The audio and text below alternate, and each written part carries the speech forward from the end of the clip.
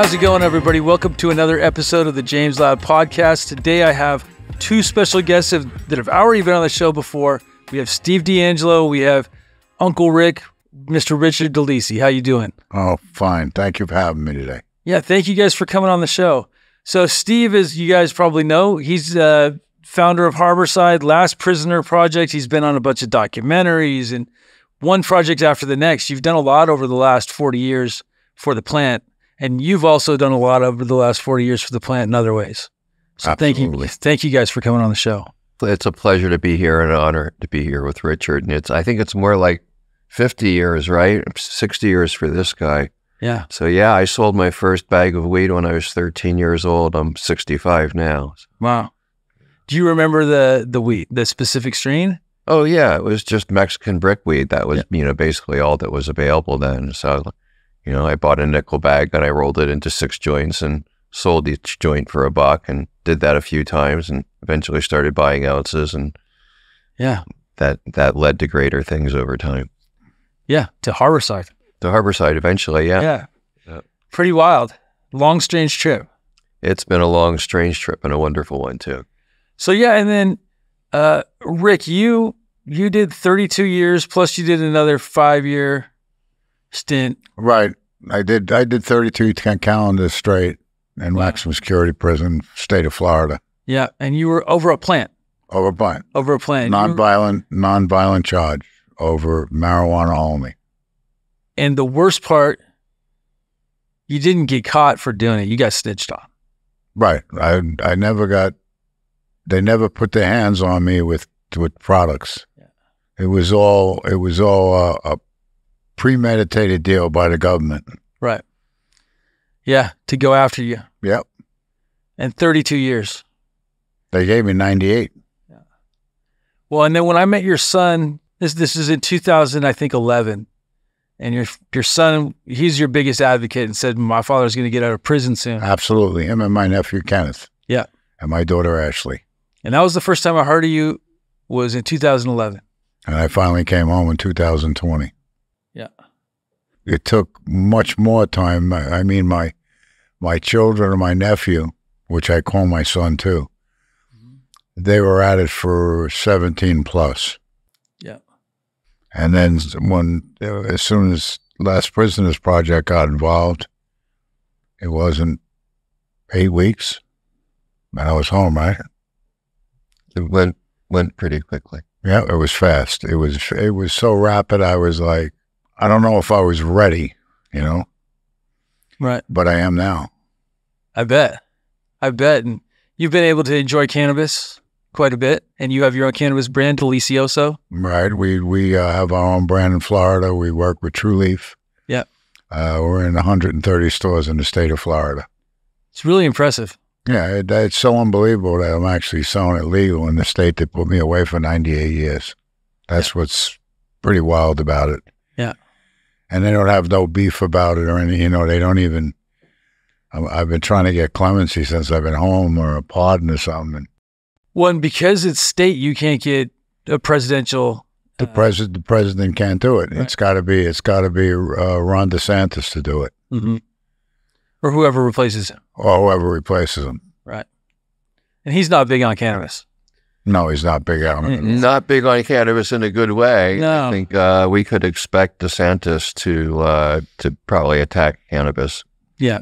And then, so Steve, how did you guys first meet? Because you guys have known each other for a long time. I think when I met you, you were talking about Richard, and Well, it was through Rick, right? It Yeah. was it was it was. Um, uh, I think uh, I was late to Instagram, so I think it was like 2012 or 2013, something like that, that I actually got an Instagram account up. And it was somewhere in those first, you know, year or two after I had an Instagram account that Rick reached out to me and told me the story. And it was uh, even before we started Last Prisoner Project that I think we started having that conversation.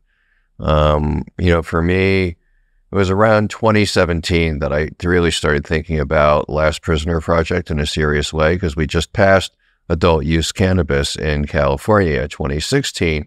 but not a single person got released from prison as a result of, of passing that legislation. Mm-hmm. And so I felt like the next step was was actually doing something. And so, you know, from the beginning, uh, Richard was on the list of, of prisoners that I cared about.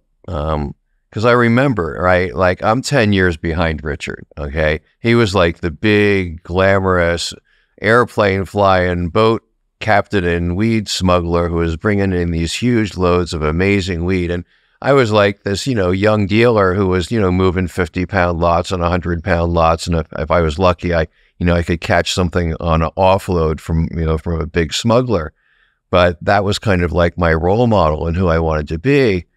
And I remember it so well when the federal government started going after uh, all the big smugglers and laying down these RICO charges and these, you know, 20, 30, 40, 50, 98 year sentences. Yeah. And uh, and it was then that we really knew that like the the war was on. It was on. And what year was that roughly? The time I remember that beginning is when Ronald Reagan was elected in 1980. He appointed George H.W. Bush the uh, drug czar of the South Florida task force. And uh, they were the first people to put U.S. military AWACS up in the air to start patrolling the Caribbean. Yeah. And and so what they did is they in that time there was a bunch of really great Colombian weed that was coming in, just phenomenal weed. Was coming in in these great big boat loads of it. Um, you could like go 12 miles outside of the the coastal waterway in Florida and like a little cabin cruiser, and there would just be like six or seven ships there that you could buy weed off of. It was it was really quite incredible uh, for a while. Um, Bush went in and targeted the big slow moving weed chips Yeah. and then allowed all of his Cuban buddies who had, you know, operated with them in the Bay of Pigs and other, you know, fascist kind of undercover operations to bring in as much coke as they wanted. And that was the beginning of the crack epidemic. And that was when they started putting away people like Richard for decades. Yeah. So, Richard, you got a lot of good stories. I've been able to hang out with you for the last couple of days, and I've I've heard some amazing stories that I wasn't able to get on the show the first time. But yeah, um, stories about hanging out with the Grateful Dead, stories about partying in New York. You know, I think we got some of those on. But let's talk a little bit about some of the smuggling that you've done and some of the good times. It was always a good time smuggling as long as you got home and everybody was safe and no one got in trouble. Yeah. That made it a good time, you know? Mm-hmm. As far as the, the business part of it, it, would- it that was a great time. Yeah. Because I met so many people. I met so many people and so many characters through through my through my years of doing it. So, what was the closest call of a load that actually did make it? You mean you mean like a close call? Yeah, like one that almost didn't make it, but it made it. the first deal I ever did. Yeah. I went to Jamaica on a diving deal. It was supposed to be. That's what I told my dad. Only you know because I couldn't tell my father what I was doing. So I said, you know, this guy's got a boat. And my father knew who the guy was, and he wants me to go and take care of the engine on the boat. And, and uh, I wound up, you know, going and down and doing it. That was the first deal. That was in like 1970.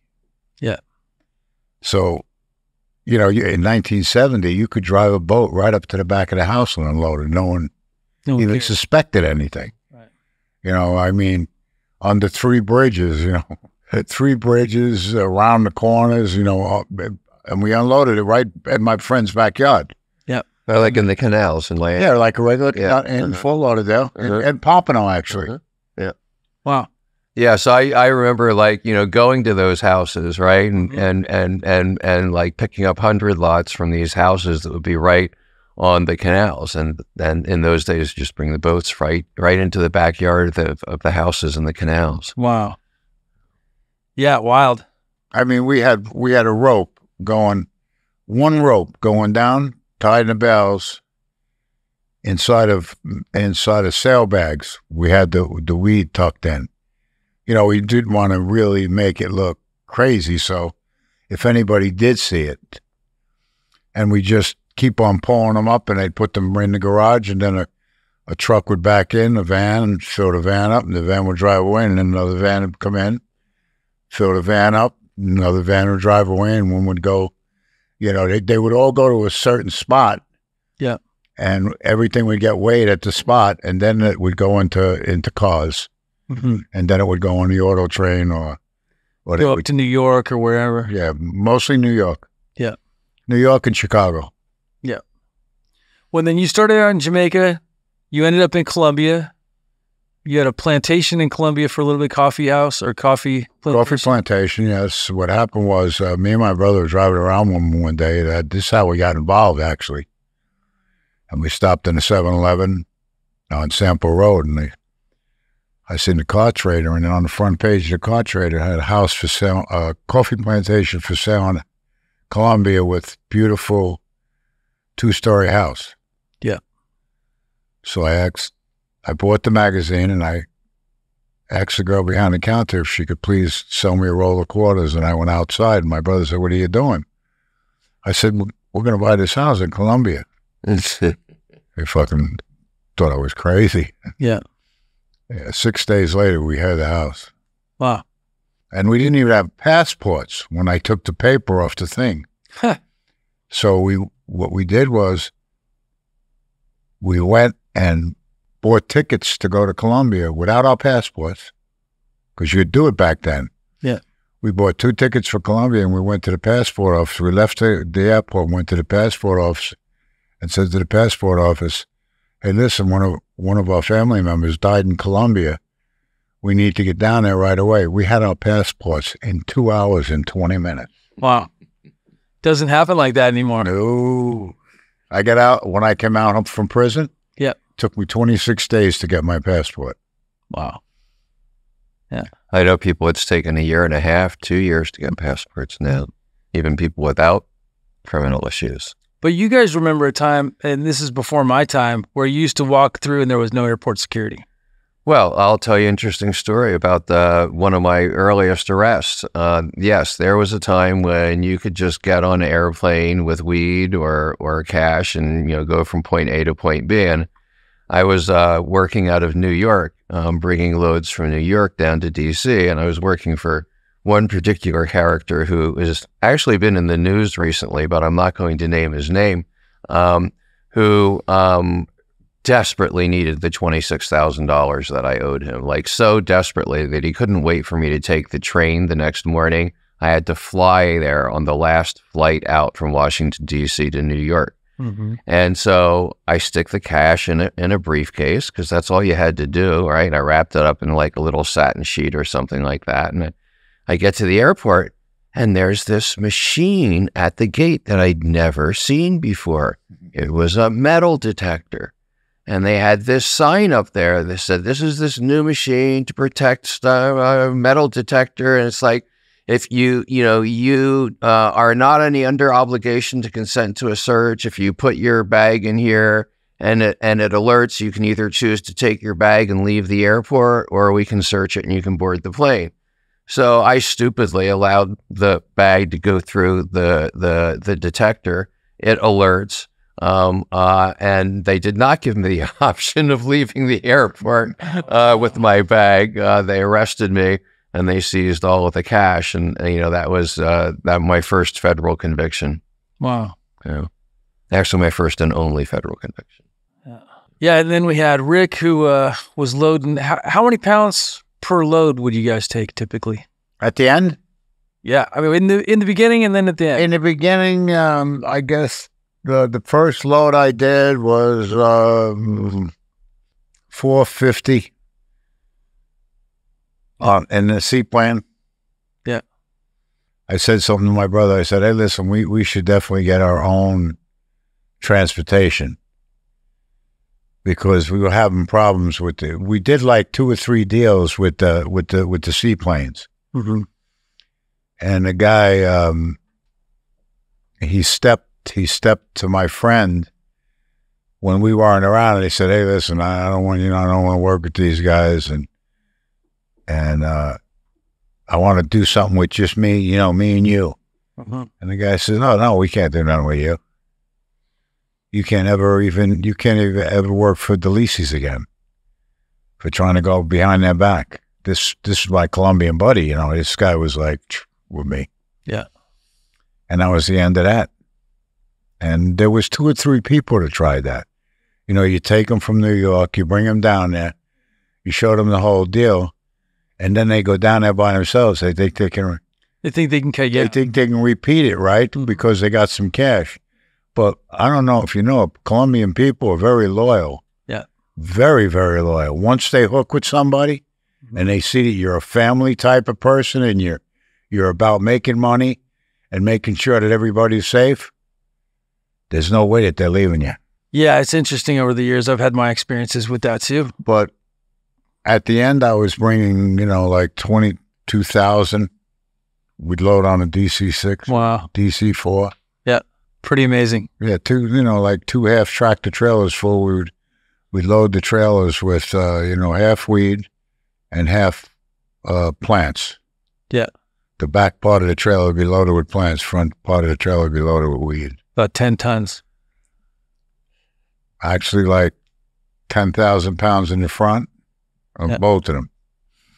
Wow. Wild.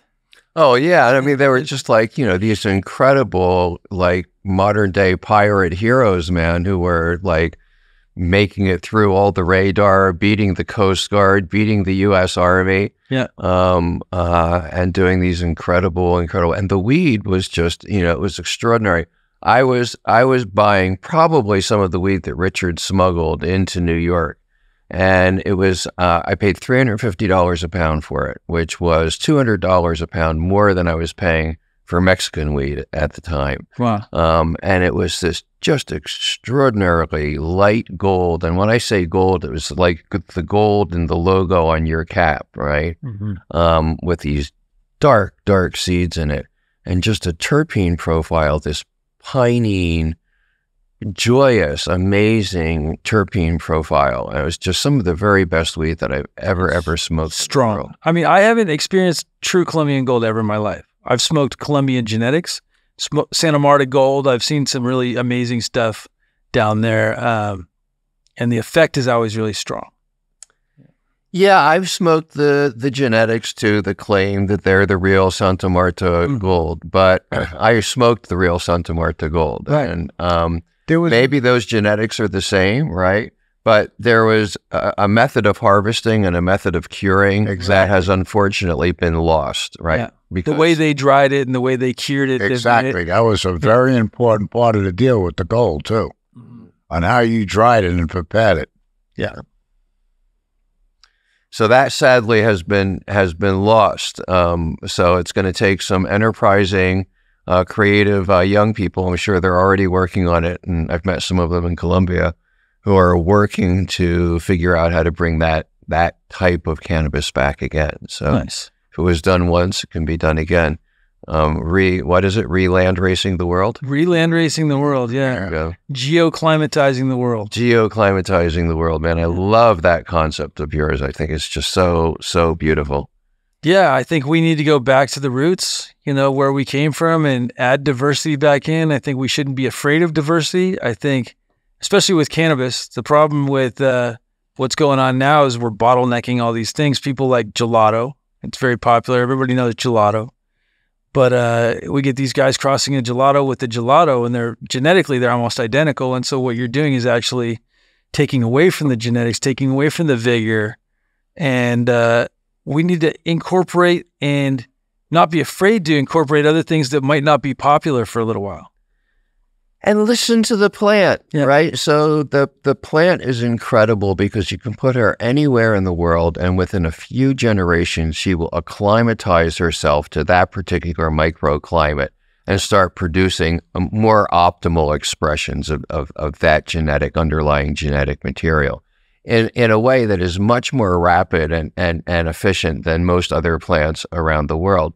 Yeah. So the, the the plant herself is calling upon us to plant her in different places to see what happens and to honor and respect uh, each of those varieties. So, you know, one of the things we always tried to do at Harborside was to create an ongoing role for the small grower.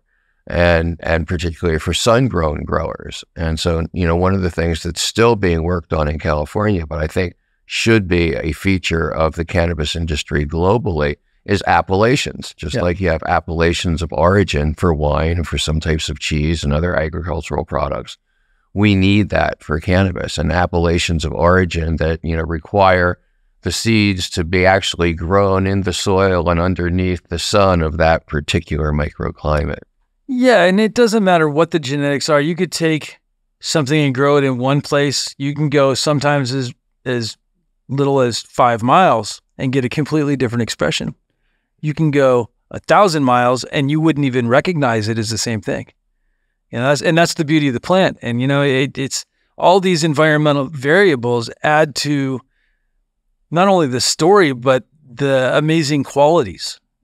Yeah, and it's very you can get these unique expressions and some stuff is meant to be grown in the highlands and some stuff is meant to be grown coastal and you know, I I big on exploring what should be grown where and with all these different genetic lines being able to go test out in these places and see what does better in what place and you know, I think th- that's the beauty of it too. It seems like the islands, like the, the Hawaiian Islands, Yep. They would rather, the plants would rather grow on the ground than inside. In other words, inside grows. I didn't see one there. I Hmm. didn't see one inside grow all the time I was there, and I seen three different grows. Yeah, I mean, let's be clear about why we started growing weed indoors. We started growing weed indoors because the government started sending helicopters and found our outdoor farms. It, it wasn't because we thought we were going to grow much better weed indoors. no, In fact, that was contrary to the hippie ethic of doing things as naturally as as we possibly could. And the actual real reality is that you will never, no matter what light is created, be able to get the kind of fullness of terpene expression that you can get From the under the sun from an artificial light. It's just not going to happen, right? Right. So I think that uh, that that that that we were right then, right? And and that moving forward, this is why appellations are so important, right? That mm-hmm. once we really do go through this process of re-land racing and and and and geo Climatizing. geoclimatizing Yep. strains for the ideal microclimates mm-hmm. and then protecting them with appellations. Yep. That's going to be the most desirable weed, not some weed that was grown in a grow room that you could grow that exact same weed with that exact same expression anywhere in the world. No, Uh, optimizing those environments with yeah, optimizing the cannabis for those environments and finding out what works the best and you know, and exploring those, you know, those those uh those paths with different genetics and really see what performs best in what region and you know, there there and there's there's a lot of mystery there. There's a lot of mystery to be found and you know, it's it's amazing cuz all the genetics we're working with came from six things you know, the six six regions. So basically, everything that we have that we're smoking today, the modern cannabis, pretty much came from these six plants or six regions. I I would imagine that there are parts of this globe uh, that have um, that have been very difficult to get to because of civil conflict and other reasons, where there are still other basic building block varieties of cannabis yet to be found. For sure. Infinite fun, right? Mother Nature was so wise and generous with this plant. There are so many different uh, possible combinations of cannabinoids and terpenes and flavonoids Mm-hmm. that it's just this treasure chest that we're going to be opening up and playing with, both from a, a spiritual point of view and a pharmaceutical point of view. Yeah. For as long as I can imagine into the future. Talking about cannabis, Right. Tell me how cannabis benefited your life. It made me feel wonderful. Yeah. It paid my bills. Mm-hmm. It's going to grow my my name DeLisioso on on my, on my uh, incorporation. Um, I think is just going to grow incredibly fast now because I think people are realizing the people that put the work in before it was just you know you could come with money and do it now. Right. You know, we we set the groundwork and we we we made sure that when we did it that it was going to stay around. We didn't we didn't do it just for the moment. Mm-hmm. We did it forever. Yeah. And I'll be doing this till I die. You know, this is my thing. This is what you were meant to do. You know, I was meant to do this. Like, you know, cowboys were meant to be gunslingers and all that stuff. I was meant to be a smuggler. It was, it was, it was, it was part of my bloodline that my grandfather was a bootlegger. My father worked for my grandfather. So if you look down to generation to generation, someone in my father's family was going to be not legitimate. And that was, that happened to be me. And I was, I've been doing this since I was like, I guess 14. You know, it, it was 14. I was 14 years old and, and I was in the business big time by the time I was 18. Four years later, I was, you know, driving like brand new cars and, you know, beautiful apartments. Yeah. And no one knew it, where it would, I was so undercover. They were like, how has this guy got two motorcycles? You know, a Harley and a Triumph, you know, brand new. You know, it was crazy.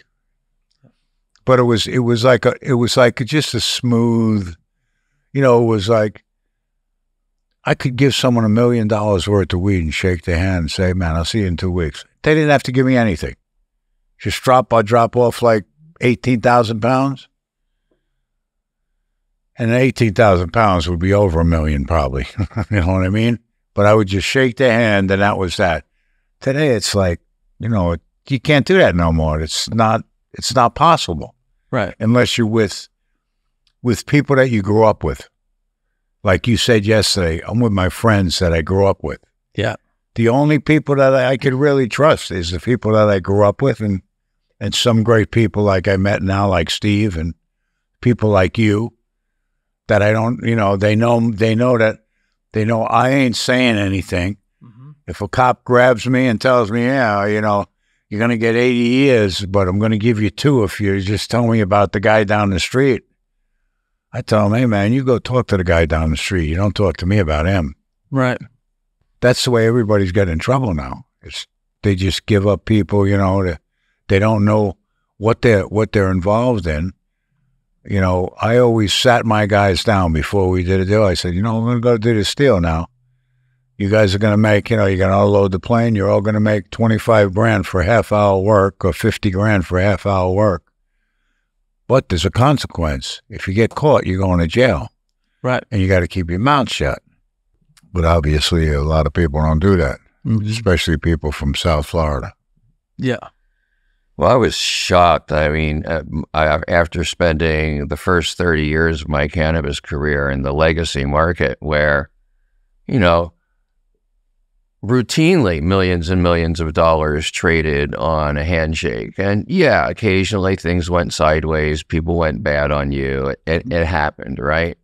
But usually it was rare that people went into a deal with you like that with the intention of ripping you off. It was usually because something happened to them and, and there was a cascade of consequences, right?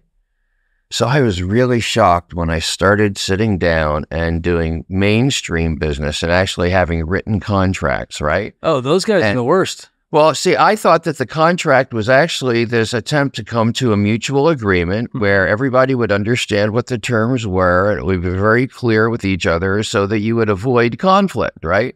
Then I learned that there's this whole cadre of mainstream business that writes contracts deliberately so that they can set you up to be screwed a little bit later down the line. And they use the most obfuscating, confusing, unclear kind of language as they possibly can and then rely on the courts to enforce some kind of unfair deal. Right. And I was just like, I was shocked that people would choose to spend their lives that way. It's like when you could do business honestly with people and shake their hands and feel good about it, why are you going to spend your time writing up all of these bullshit contracts designed to cheat people? Right. It was just, Well, and now nowadays, you want to work with people that you could do a handshake deal, and you need a contract.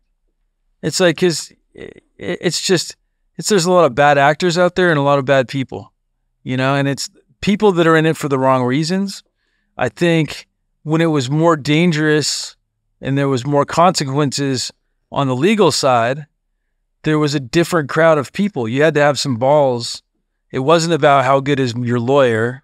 It was like, okay, we're going to commit to doing something. We're going to do it. And, and now, if you got money, you could pay to play. It's a pay to play sort of thing. And people don't realize the importance of quality. That's another issue with the industry today. And I think you guys both understand quality. Uh, you know, Steve and Harborside had some amazing quality. For those of you that have seen the Harborside of today, it's not the Harborside that I grew up knowing. The Harborside I grew up knowing was the place that set the standard for clones. If you wanted good clones, Harborside had the best clones. They had the best quality. Dark Heart, originally Dark Heart had the best clones, you know, and Harborside, they, they sold Dark Heart clones, but you would take them and they were picture perfect clones. And they had perfect roots, and you guys would reject tons of stuff. But I remember going to Harborside, and it's like if you wanted flower, they had all different tiers of flower. But the top shelf back in the day, you wanted some Chem 91, some Sage and Sour, you wanted some good top shelf flower. It was available there. And the stuff was better on average than you could find in most dispensaries in California today most uh, results flow out of intention, right? And our intention was to create a temple for cannabis and a community space for people who loved cannabis. And, yeah. you know, we found ourselves in this very fortunate place in California where it was, you know, still a gray market. It wasn't fully legal by law. It was nonprofit. So the big corporations didn't want to come in. And we had this breathing room and we created this really amazing system, right? Um, there, nobody made intergenerational wealth, or not very many people, right? But everybody in that system from 1996 until 2018 was taken care of. Farmers could afford to buy the land they were growing on and send their kids to school. Mm-hmm. Patients could come into dispensaries and get the very best weed in the world at really affordable prices. Yeah. People who worked in dispensaries had the best jobs that that they'd ever had in their lives, right? Um, mm-hmm. uh, everybody was well taken care of uh, in that system. I mean, there was counties in the Emerald Triangle that their whole economy was based on cannabis. Mm-hmm. You know, the whole economy, all of it, everything. You know, if you lived up there, if you didn't participate, your spouse, your neighbor, the kids you went to school with, their parents did. I mean, it, it you know, it was such a big deal, and now that's kind of changed, unfortunately because a lot of those people were the ones that helped build the industry as it is today. You know, guys like Richard, we got the cultivators. You know, I, I think I've done my part. You know, I've been around since the '90s and very passionate about cannabis, but you know, and it's a, it's a group effort from so many people in so many directions. And you know, we were we were at dinner last night talking about how tough times are and how yeah, for, for me, it's all about being grateful for where we're at and what we have. And if you start getting too caught up on the bad part, you you forget how, you know, we're living in a time that weed is marijuana is legal. We can, yeah, it's pretty much legal, federally, whatever. But you can go on the joint, you can smoke a joint on the street, and they're not going to give you shit for it too too often. Um, you're not going to get locked up over a joint. That's for sure. Well, it's this incredible, uh, in my opinion, spiritual revolution that we're undergoing now, where literally hundreds of millions of people all around the world have been called into conversations with this plant. Yeah. And out of those conversations, we have uh, learned the same lessons. And out of those lessons, we've built a common value system, right? So wherever we are in the world, we value creativity over conformity. We value individual freedom over submission to authority. We value nature over industry. We value peace over war. We value love over hate. We believe that every living creature and, and every inanimate object made by nature has a place and a purpose in this world. And that's who we are. Whatever language we speak, whatever race we are, whatever religion we follow around the world, uh, plant people follow that same path. And so uh, it's this incredible time um, where we now have the opportunity to introduce ourselves to each other. Yeah. And think about it. It's like we've all been called. We've all been called by the same plant. What's she want us to do? Mm-hmm. Yeah. And if you listen, the plant will tell you. Plant will put you in the right direction if you listen. This is the reason that governments and religions are so terribly terrified of cannabis because when we engage with that can- that conversation with cannabis, it is a direct conduit to Mother Nature. It is a direct conduit to the divine. And the messages that we receive from Mother Nature, from the divine, carry a greater authority than any man made authority will ever have. And this is why uh, authoritarians have always been so hostile towards cannabis. Yeah. So you've been in Hawaii lately. We were talking about Hawaiian weed a little bit. How how's it over in Hawaii? do Hawaii is like my son lives in Amsterdam. Yeah. So when he moved to Hawaii, I said to him, um, "Well, how do you like it?" He said, "Dad, I moved from the swamp to paradise." Yeah. And you know, I've been to Hawaii a few times. I spent some time there. I lived there for about six, seven months. Um, I never did any time in my in Maui, but this time, you know, he wanted to make sure that I seen most of the the great things that it offers the, the island, you know. And it was, I mean, I went fishing. I we caught like over five hundred pounds of yellowtail tuna. Wow. Then we went hunting. We got a we got a Angus cow, three hundred pound. I mean, we could have got a fifteen hundred pound if we wanted to, but we only had a certain amount of time to clean it because I had to come to California. You know, we were, and I met this great guy, Patrick, that's got a farm there. Richie met him like a semi accident. It was almost that they met each other, and and the people that worked for him and the people that took us hunting, and and Patrick took us fishing. You know. Yeah. It was it was um, quite an experience. Hawaii this time. It was, it was a whole new deal for me. When you said you saw some sour diesel there, that was really good. Wow, purple. Purple sour diesel. The bottom of the leaves were purple. When I lifted the leaf up, I said, "Holy cow!" Yeah. I said, "I want some of this right now." I said, "Well, you know, it won't be ready for a little while." Yeah. But um, I wound up getting a few things from him before I left. Nice. Excellent. And then Jason Harris, uh, he's over there. You know what happened was I'm, I'm there, right, and I'm talking to my friends, and they're like, "Hey, uh, Maui Wowie is that?" Uh, so I said, "Don't worry, I'll bring something back for you guys." You know. Yeah. So interesting enough, I got Maui Wowie when I was in my teens, probably 16 years old or something like that. And we got this Maui Wowie that came in and it was velvety. It was lime green and it was velvety, like spongy, velvety, but it was part of the texture. And the stuff was amazing. It was, it definitely would lift you up. And the effect is what I remember the most. I don't really remember how it tasted, but I remember the way it looked because it was like Remember how super sticky it was? It was super sticky. Yeah, it was super sticky. I don't really remember the smell though, but I do remember the way it made me feel, and it was super, super uplifting. It was strong but uplifting. Yeah, it was. A, it's a happy weed. Yeah. The very first, um, what we called then Sinsemilla, the very first domestically grown weed that was good, as Yeah. opposed to what we used to call grownies or homegrown, which was really, really badly grown weed in the beginning, um, was in 1974 in New York City when uh, I bought a pound of Maui Wowie for $1,200. And, uh, and again, it was like this incredible sticker shock, right? Because like I was used to paying 300 or 350 for the Colombians. It's like $1,200 for a pound of weed. It's like, I don't care how good this wheat is. I'm not paying $1,200 a, a pound for it. And, and then the pound was put in front of me. And of course, I did end up buying it. Yeah, yeah, New York has always been infamous for the expensive pound prices.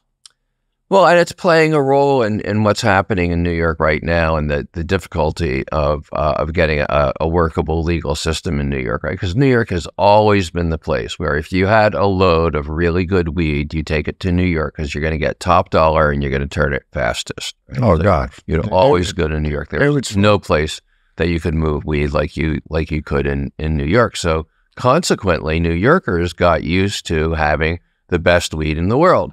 And because it was a competitive environment, they ended up paying, you know, high prices, but not ridiculous prices for it. Became very particular consumers.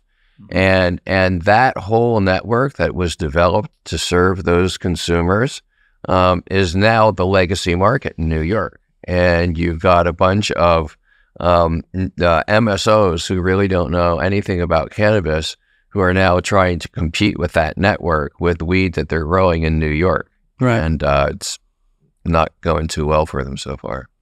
Well, most of your weed was moved to New York, right? I mean, some in Miami, some other place, but New York was the I didn't sell any any weed in Florida. none in Florida, None.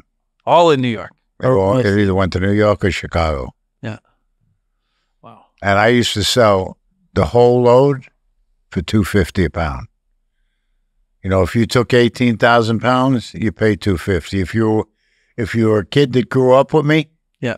which the guy that used to take the big load, he grew up with me. But if say like like my next door neighbor wanted two fifty, I'd give him I'd give him two hundred fifty pounds for two hundred fifty dollars a pound, just because you know Right. or one of my friends that might have been a fireman or a cop in New York, I'd give them two fifty a pound. You know, Yeah. Well, and then so your price was what a hundred, and then you're you're doubling it. You're two point five x, or what was your cost? In, paying thirty bucks a pound or something. oh, not even. For, Wow. It was like it was like yeah. eight dollars a pound or something. When you know, because Yeah. we, we had to just figure we had to figure the guy, you know, the plant to the guy that's watching it. Sure. That's how we figured it. We didn't. We just figured, well, it's going to cost to grow this field. It's going to cost us twenty grand. Yeah. All right. That field's thirty thousand pound field. hmm I mean, it's deep and long. You know. I mean, Yes. so when when you break it down, if you're getting thirty thousand pounds and you're only paying twenty grand, what are you actually paying for each pound? You know what I mean? You, if you break it down all the way, it's like it was peanuts. Sure. It was like pennies on a dollar, like type of thing. You know? You pay more money to to bribe the people you need to bribe to get the load out of the Oh, yeah. grocery than you paid for the weed. Sometimes it used to cost me thirty grand just to get out to the desert. Well, You know, I'd be driving along and there'd be a there'd be an army stop. hmm I'd jump out of the truck with a shoebox for five hundred pesos. So when I say Oaxaca, what comes to mind? What's the first thing that comes to mind for you guys? For me, um, the it's the most indigenous uh, state in Mexico, and uh, That was that was the best Yeah. the best smoke to come out of Mexico too. Ever. smooth. Mm-hmm. Yeah. Oaxacan was the best ever smoked. And the best part was I had the connection when I was 15. Wow. The wise guys in New York had the connection. And my friend knew the wise guys. So I used to go over to the Manhattan Beach Hotel and I'd buy pounds of Oaxacan for 20 bucks a piece Wow. In New York. Yeah. So This is in the early 60s. Sure. but 20 bucks a piece, but I had to buy a whole suitcase. You know, like 20 of them or 30 of them. Yeah. Nice. Wow. I wish I had that connection back then. God, it was, and, and, and you know, we would sell them for like 150. yeah, yeah. That's what I was, I was paying. If I got a pound of Mexican in Washington D.C. for 120 bucks, I was thrilled. If I was paid 150, I was okay. If I had to pay 160 or 165, I was kind of not so happy about it. But I mean, Right. the people that, that I would sell to, to 250, like my friend, hmm he would double his money. But that was a Colombian. Yeah, the Colombian. Yeah, that's totally different. Yeah, he would double. He would double his money. He'd buy it for two fifty a pound, and he'd sell it for five hundred. Wow. And, And I drop mean- a few ounces for three here and there. Oh, all day long. And then, then he, he'd try me on the twigs and the seeds. And, you know what I mean? He said, Oh, yeah, I had like uh, 80 pounds of seeds and twigs. I'd say, Well, knock it off the bill. So how did they do the brickweed? How did I break it? How did what? How did yeah? How did you break I it? had I, I had two book presses that I bought in New York, put on an airplane, and sent down there. Book presses. Yeah, book presses. Wow. I would I would do like they were this long. Yep. You know, the regular Colombian bells were like that and about that high, right? But they were that long, about that high. I guess about yeah, about that high. That was twenty pounds. Hmm. Pressed, and and I wrapped That's them. pretty light. I wrapped them differently. You know, they'd be wrapped in brown paper with a little plastic around them, and they'd be stacked into the burlap bags. Yeah. And it would be like perfectly, you know, the burlap size. Yeah. In Mexico, we used to uh, we would build boxes, right, of the size that we wanted the bales to be, and then we'd use auto jacks and uh, put the jacks in, and then um, use hydraulic jacks to press the the weed Wild. into the and then and then do the and then do the wrapping.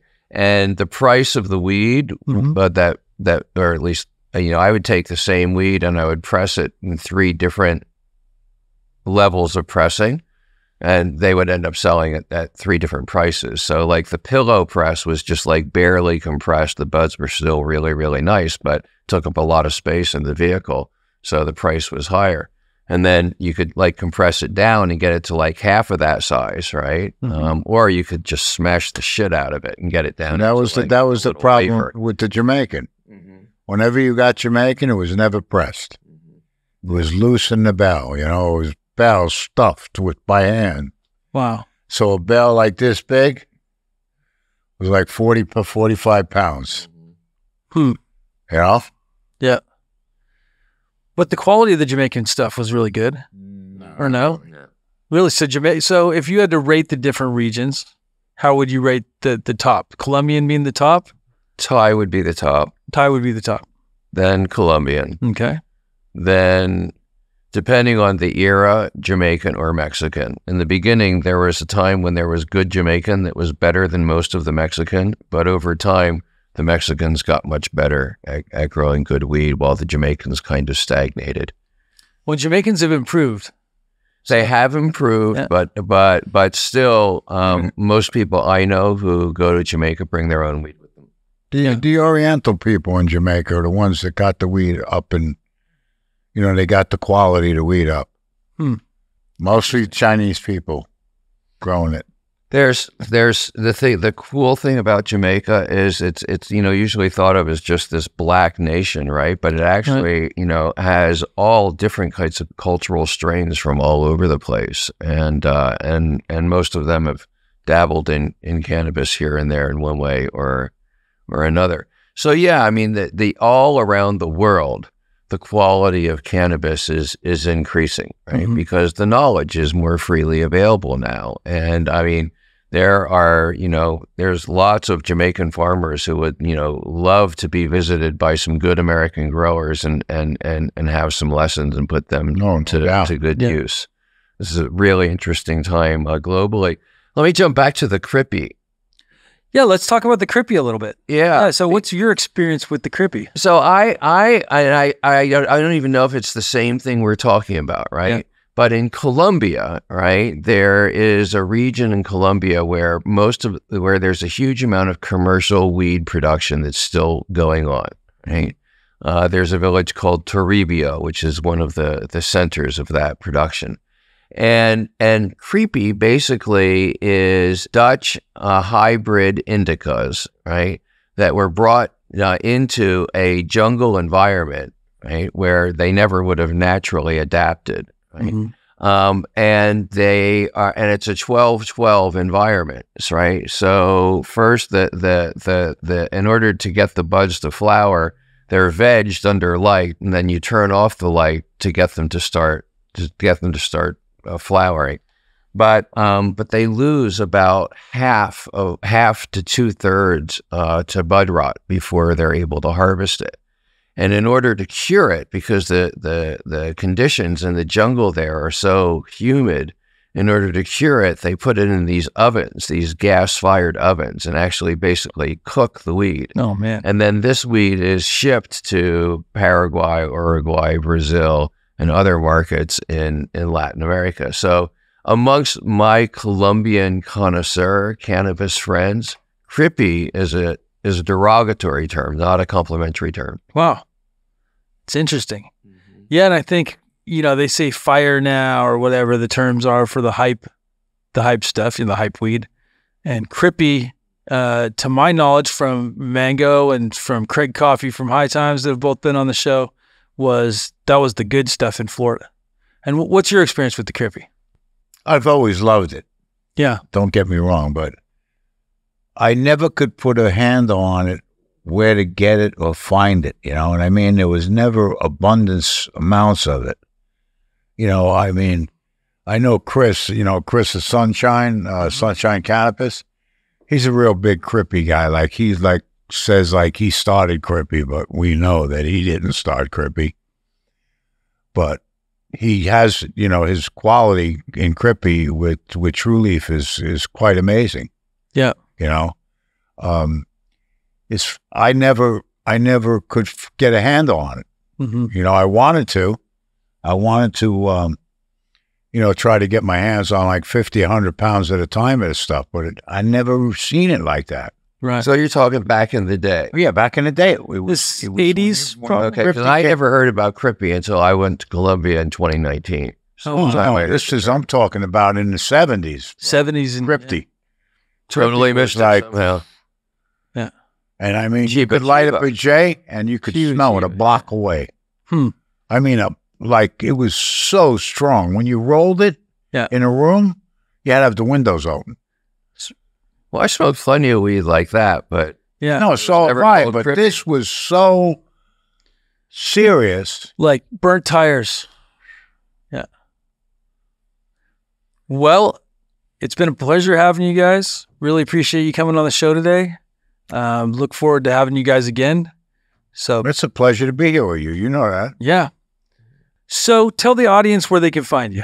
Uh, if you want to find me, you can find me um, at steve.deangelo, D E A N G E L O, on IG, uh, stevedeangelo.com. Uh, and you can keep up with my latest project, um, which is a, uh retreat center in a Rastafari village in Montego Bay, Jamaica. Uh, and that one is at RIV Retreats on IG. And Richard, how can Uh, they find you? Keep in touch with me at freedelisi.com, uh, DeLisioso. Yeah. That's Yeah. the way to keep- Instagram. to keep with me and to Yeah. follow me, you know.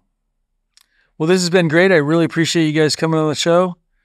Uh, thank you so much. Thank you for having us. Thanks for having us, James. Thanks for uh, bringing this history to light and keeping it alive. Yeah. Look forward to doing projects with you guys in the future. Yeah, man.